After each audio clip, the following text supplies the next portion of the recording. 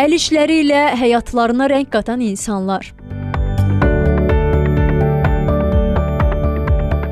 Ali təhsil almadan, ancaq zəhmət və səy göstərərək şəxsi biznesini quranların hekayələri hər birimiz üçün ilham mənbəyidir. Fərz edin ki, hər səhər oyananda sizi gözləyən heç bir ofis, iş görüşləri və ya yığlası sənədlər yoxdur. Bunun əvəzinə əlinizə götürdüyünüz hər bir material sizin üçün yeni bir dünyaya pəncərə açır. Gördüyünüz hər bir əl işi, toxunduğunuz hər bir detal sizə yeni bir hekayə danışır. Bugünkü müsahiblərimiz də elə sözü gedən şəxslərdəndir ki, onlar məhsullarını sosial şəbəkələr üzərindən və abad publik hüquqi şəxs vasitəsilə satıb gəlir əldə edə bilirlər.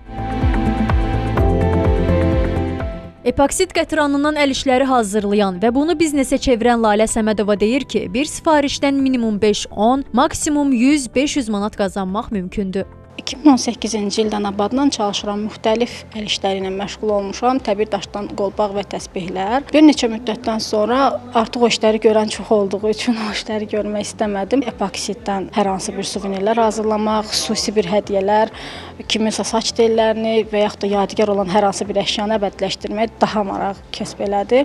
Həm də çox tələbatlı iş idi. Düzdür, özünə görə savadı olmaq çox yaxşıdır. Təhsil olmaq da çox yaxşıdır, amma diplomu gedib yatışdırmaqdansa hər hansı bir sənət öyrənmək, şəxsi biznesi qurmaq daha yaxşıdır. Zövqlü tərəfləri olduğu qədər çətinlikləri də var. Müsahibimizin sözlərinə görə, aldığı ən qəribə sifarişlər qurudulmuş əqrəbdən aksesuar və qurudulmuş arıdan təsbeh hazırlanması olub. Məhsulda tək alıram, çatdırılmanı da tək eləyirəm, hazırlamanı da tək eləyirəm. Belə bir şey var da, məhsul hazırlanır, onun etaplardan keçir. Sadəcə elə qəlibə qoyub çıxartmaq deyil, onun ə, cilası var, parıldatması var falan. Onlar da hamısını özüm eləyirəm. Qoxusu çox sərtdir, qalan yox. Belə həm də işi sevəndə ümumiyyətlə çətinliyini hiss eləmirsən, amma qoxusu çox çətindir.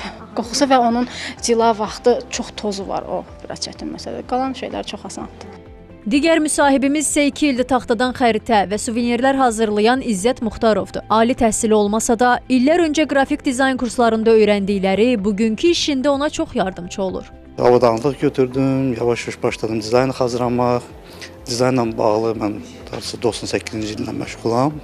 Onun üçün mən üçün biraz rahat oldu. Yavaş-yavaş başladım düzəltməyə. Amma bu ağacla bağlı son 2 ildir fikrimdə, ürəyimdə var idi bu işləri görməsi üçün. Daha da çox vaxt ayırdım. Birinci biz başladıq ə, böyük xəritələr düzəltməyə, Azərbaycan xəritələrin. Sonradan gördük ki, tələbat var balaca xəritələrə, balaca xəritələri başladıq düzəltməyə. Bizi sonradan Abadla tanış elədilər ki, dəstək olur bizim kimi insanlara. Taxtadan hazırlanan bu əl işlərinin qiymətləri də onun ölçüsünə və çəkilən əziyyətə uyğun olaraq dəyişir. Belə ki, minimum 50 manatdan başlayaraq 5000 manata dək dəyəri olan əl işləri var ki, bəzən hazırlanması bir neçə ay tələb edir.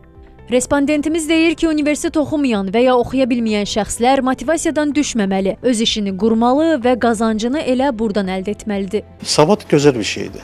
Sadəcə məndə ə, vaxtla əlaqədar olduğu üçün mən getmədim o yolu. Şəxsi biznes ə, üstünləri çoxdur. Yəni var insan ki, ə, kiməsə tabe olmaq istəyir. Belə deyək ki, adi işə gedir, gəlir, yəni vaxtla çalışır, saat 9-da gedir, 6-da qayıdır. Var insan sərbəst. Yəni sərbəst əksəriyyətdə incəsənət adamlar olur. İzzət Muxtarovun sözlərinə görə, bu cür bizneslə məşğul olan şəxslərin təkcə əl qabiliyyəti deyil, ünsiyyət və satış bacarıqları da olmalıdır. Ayşən Sərdar qızı Cəfər Qasımov, xəbər ertəsi.